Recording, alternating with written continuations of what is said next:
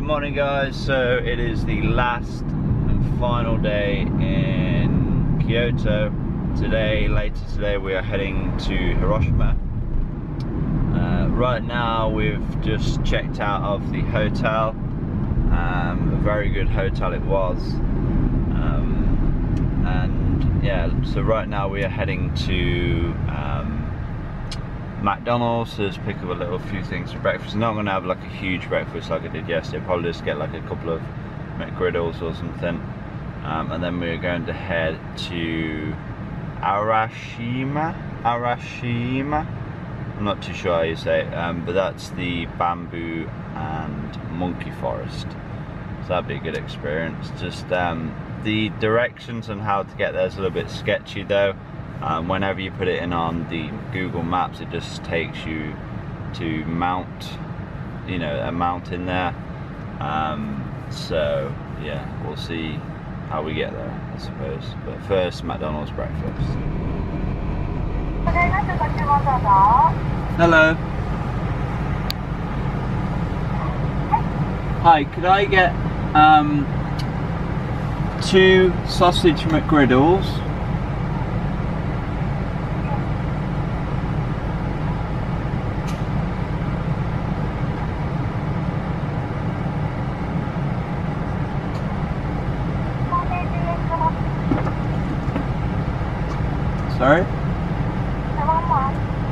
So yeah, two sausage McGriddles.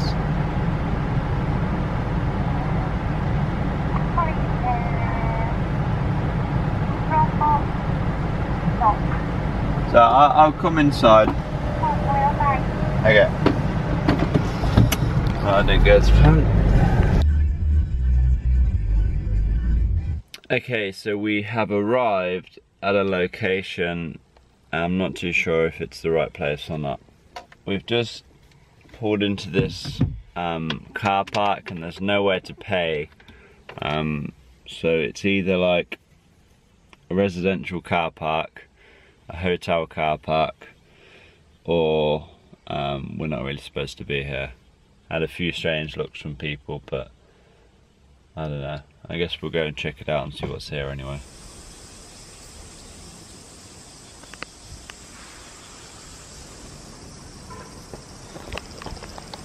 Okay, so we don't really know what's at the top of here. We're hoping it's the monkey park, um, but we're just heading up these steps, and then I guess we'll find out, won't we?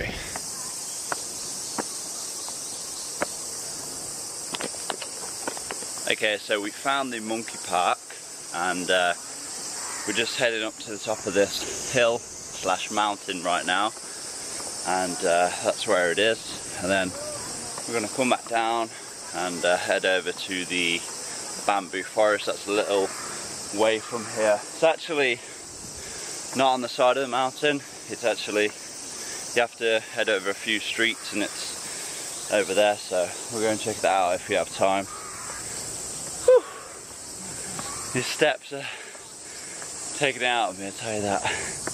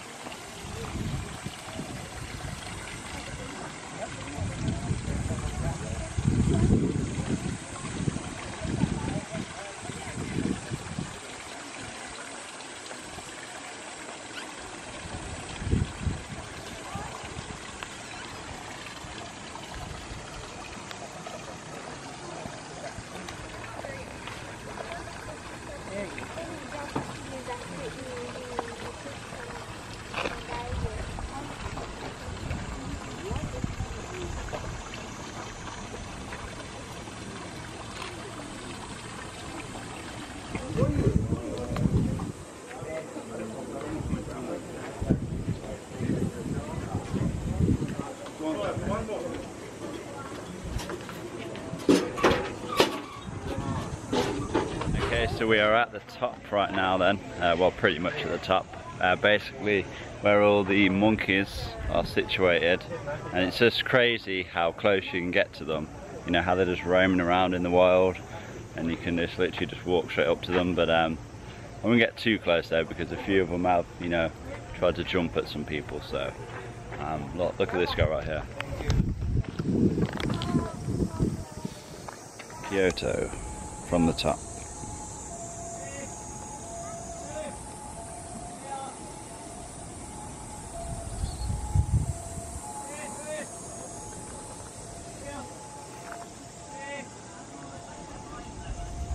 Sorry.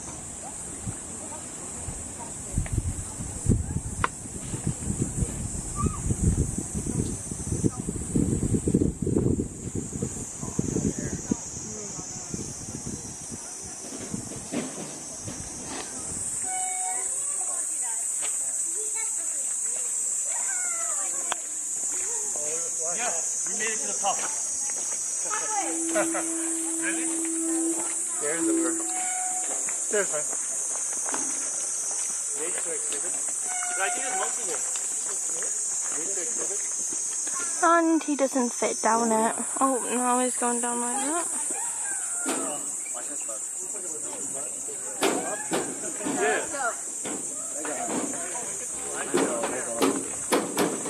Why didn't you just walk down the steps? I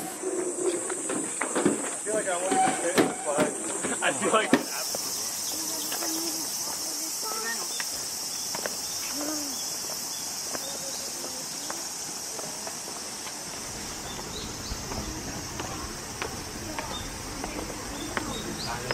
Yeah.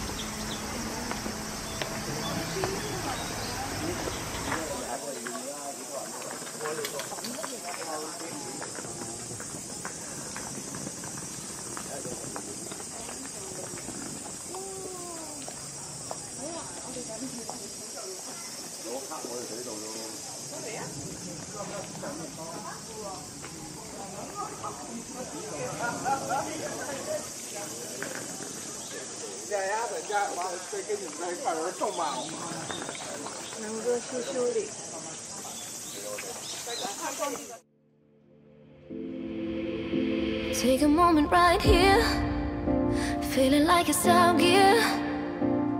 Driving towards the sun with a rose and a gun. Feel the wind in my hair, going nowhere, I swear.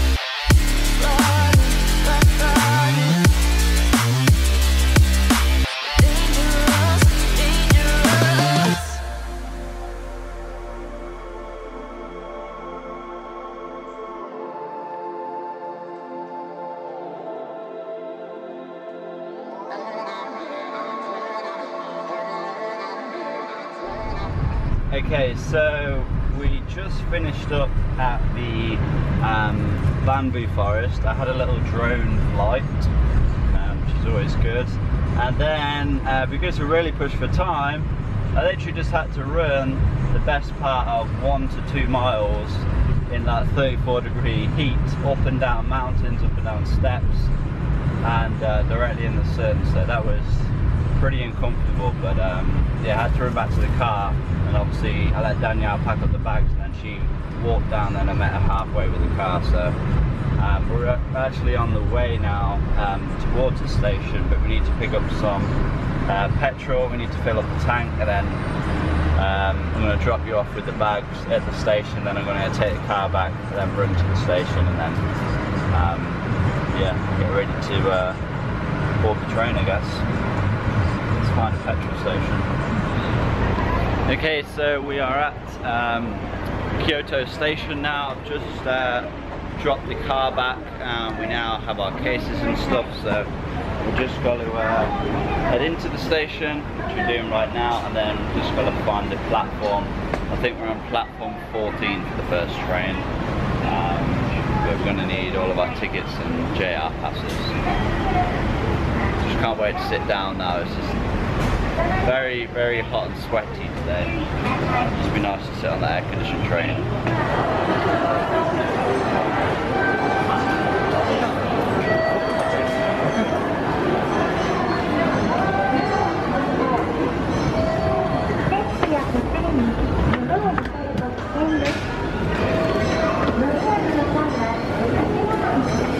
Your arm not sunburned.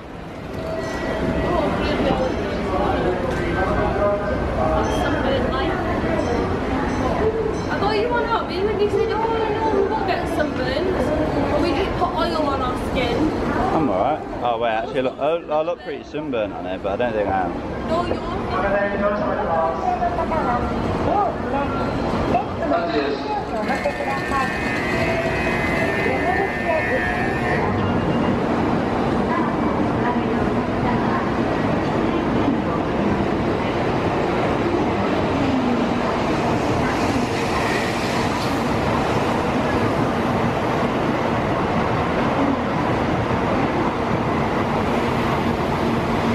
Okay, so we are now at Kobe and um, we've just got off our first train. And um, luckily enough our next train is actually from the same uh, platform so we haven't got to go looking for that because there's only like nine minutes between the trains. So there's this one going right now and then ours is the next one in about three minutes I believe. Um, so yeah, then we are heading to Hiroshima.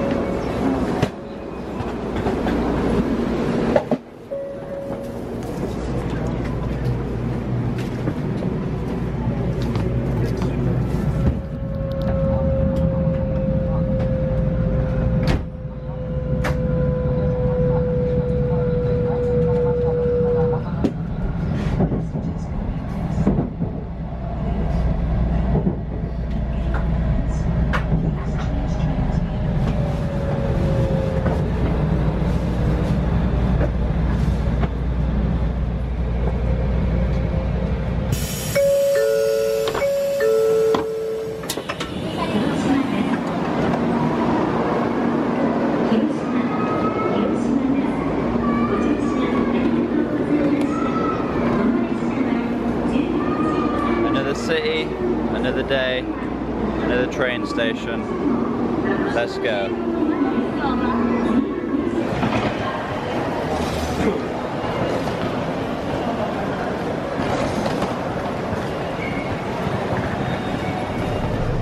Alright then guys, so we have arrived in Hiroshima. We have a rental car finally. There was a little bit of a language barrier, which is all good. Obviously we're in a foreign country, so it is to be expected. Um, but the car that we have is basically a fishbowl. Because it's so, it's, it's a typical Japanese car. It's like a box with lots of glass and um, yeah, as I said, there's not too many blind spots in this car. But uh, yeah, you know, as long as it gets us from A to B, that's all that matters.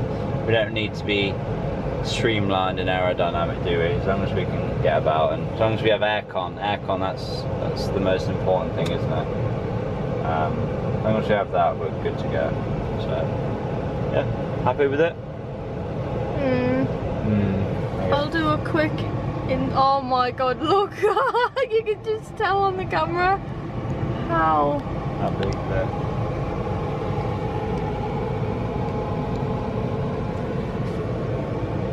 Don't even know where we're, where we're going. I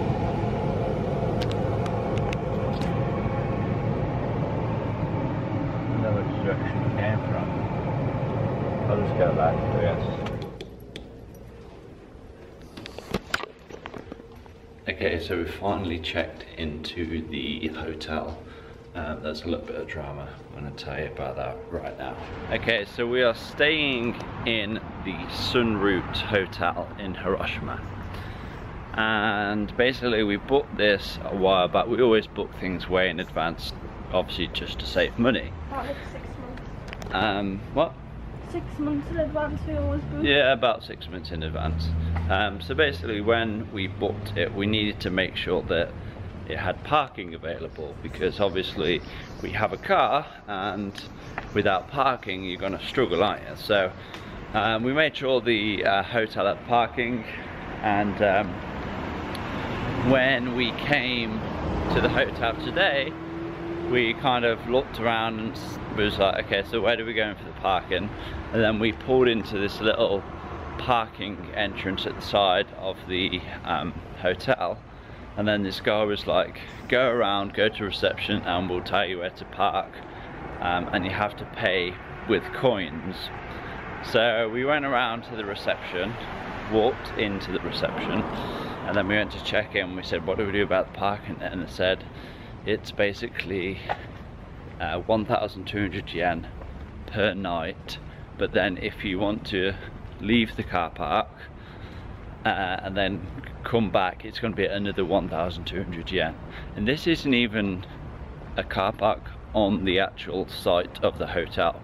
This is a car park which is five minutes away, which we are walking to now. Okay, so we worked it out and it's going to cost us around 120 or 150 pound um, for the five nights that we're here. And that's ridiculous, right? 120 pound, 150 pound for five nights of parking. Um, so obviously we wasn't best pleased about this. Um, and you know, considering that it said we had free parking with the uh, reservation. And the guys at reception obviously they tried to help us out but there was a bit of a language barrier. Um, so it's not it's not their fault you know I can't blame them. Um, so they said to contact uh, Agoda was it? Agoga? Agoga I think it is. That's the um, booking company that we used. And um, uh, yeah, so we contacted them and they basically sorted it out and we have to keep all the receipts for everything that we use on this car park and then you have to obviously send photos and send them by email and then it'll all get reimbursed. But obviously that's going to take some time, that's probably going to take a couple of weeks. Yeah, by the way, we're not there yet, so we've got a little bit of walking. Um, so yeah, that's going to take a little bit of time. So it's just, you know, all the hassle of that. And uh, yeah, we'll show you the hotel um, room um, when we get back. It's not the best. No, it's not. It's not that bad. It's not the best one we've stayed in yet, but it's not that bad. Um, but right now we're heading out for some food because haven't eaten like all day. All we've had is like that McDonald's. Yeah, all we've had like today is like that McDonald's we had this morning. Um, we're very hungry now. Been a very long day. I just can't wait to um, eat, get back to the hotel and pack and just um, yeah try and get a good night's sleep tonight and then I'll be back to training tomorrow which it's annoying when you know you miss workouts but I'm just obviously just gonna have to push them back you know it means I've had a total few days off but you know I've just got to try and get back to it tomorrow and um, just get back to normal from there I guess uh, it's annoying but it is what it is so I'm gonna head out for some food now oh let me show you the car real quick as well. Because you guys haven't actually saw it yet. Yeah. So it's getting cool while we're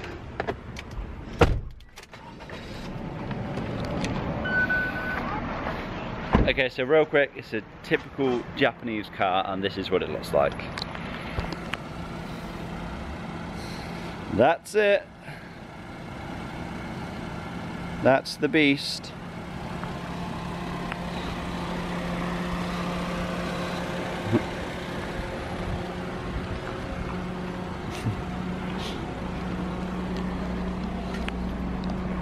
I don't even know if it's like a litre engine in this, but pretty damn powerful, I'll tell you that. Not. But let's go for some food now. Okay, so we were just about to head to this diner which sells steak, burgers, pizzas, seafood, they do everything. And um, they have two pretty close to each other. Went to the first one, it wasn't even there. Went to the second one, there was just like houses there, so it wasn't even there. Uh, now we're just at a supermarket. Then we're going to go in here, get some essentials, some drinks, things like that. Um, and I think we're just going to go KFC because it's about the only place that's open. I need a lot of protein. Um, so, yeah, I'm struggling now to be honest because I haven't eaten in like, I don't know, close to 12 hours and we've just been moving all day. Like, I'm struggling. Let's get some food quick.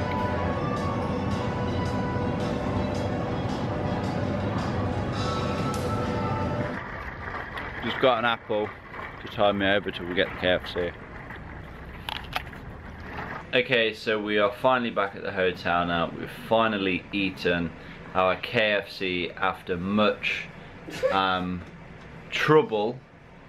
Uh, basically, we went to the KFC and then um, it was literally minutes before closing. And we basically went to order our food. And they put it all through. And then they said oh we don't we can only do cash not card. And was like we don't have any cash. So I had to literally drive round and round in circles trying to find an ATM which wasn't uh, the easiest task. Well I actually found one in a bank they didn't accept our cards so I had to find another one in a 7-Eleven and um, I to head back to KFC and I had to pay and obviously we rushed back here. So really hungry haven't eaten in like 12 hours. Um, and then I'm pretty sure they messed our order up which I'm just going to write it off. Today it's not been the best of days since we've got in Hiroshima we're not going to let that negatively affect the rest of our time here though. Um, I'm sure you know we're going to do a lot of good stuff here and um, it's going to be eventful I'm sure. Uh, but yeah I think I'm just going to end the day with a cup of green tea. What I have right here so it's going to be nice okay so just drinking my green tea. I don't actually like to have my green tea hot. I actually just prefer to have it not cold but like lukewarm. cooler. Yeah lukewarm. Um, uh, just so I can just because I don't like sipping it so I just like to you know pretty much down it in one. Um, but yeah we're just gonna watch some Netflix now. I'm gonna end this video here um, tomorrow is going to be a good day, I know it. Um, hopefully you guys have enjoyed this video. If you have, make sure to give it a like, leave a comment down below, and I'll see you in that next one. Peace!